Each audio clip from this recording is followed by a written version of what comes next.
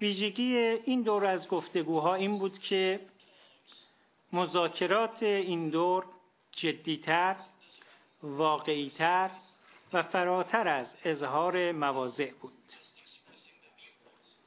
به خصوص جمهوری اسلامی ایران بحث های جامعی رو هم درباره تبیین دیدگاه های جمهوری اسلامی در محورهای پنجگانه تهیه کرده بود که تقریبا نشست اول گفتگوها به ارائه این دیدگاه ها معطوف شد. دیدگاه های ما سریح و واضح بیان شد. تأکید کردیم که غنیسازی اورانیوم حق مسلم ملت ایران است.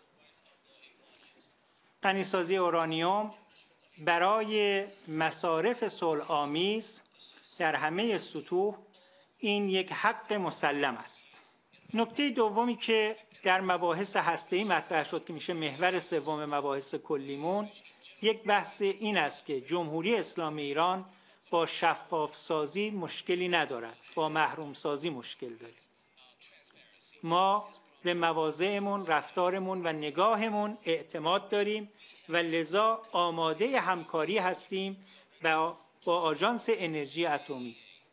اما متقابلا انتظار داریم رفتارهای خلافی که علیه ملت ایران به کار برده شده است اونها باید در ازای این همکاری هایی که فراتر از MPT در جهت شفاف سازی انجام می شود اونها باید متقابلا برداشته شود. من همونطور که گفتم این دور از مذاکرات گفتگوها سریحتر، جدیتر و عینیتر بود.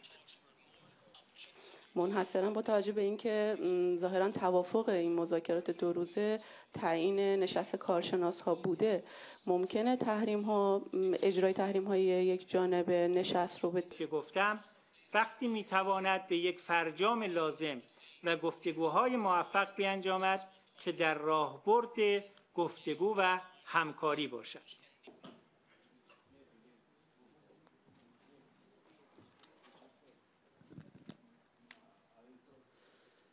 گفتیم این تعلل موجب می شود گفتگوهای مسکو نتوانیم به یک نتایج ملموس برسیم. متشکرم.